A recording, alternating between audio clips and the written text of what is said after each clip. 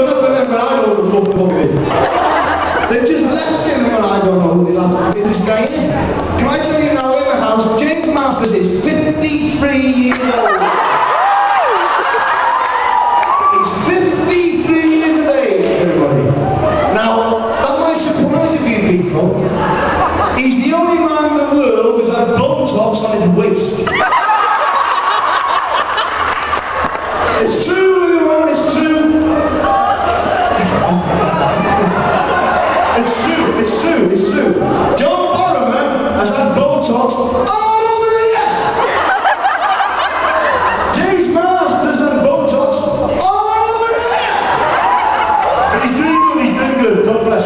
God rest his soul, God rest his soul. He's doing well, he's doing well. It's up there now.